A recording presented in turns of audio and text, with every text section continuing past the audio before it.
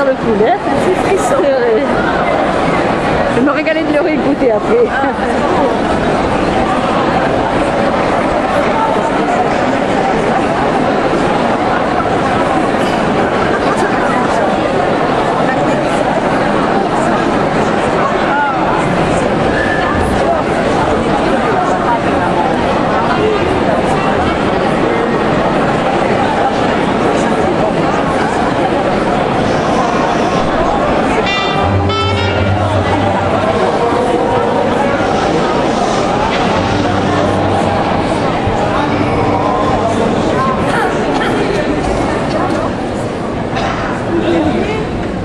小心点